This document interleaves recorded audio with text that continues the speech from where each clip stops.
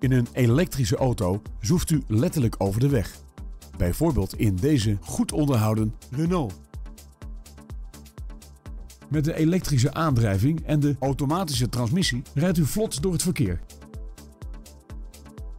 Deze Renault is aangekleed met climate control, een dashboard met spraakbediening en een lederen stuur. In deze Renault vinden we een bandenspanningscontrolesysteem, elektronische remkrachtverdeling en automatische dimlichten als veiligheidsverhogende extra's. Op de uitgebreide lijst van accessoires vinden we ook keyless entry, een start-stop systeem en 16-inch lichtmetalen velgen.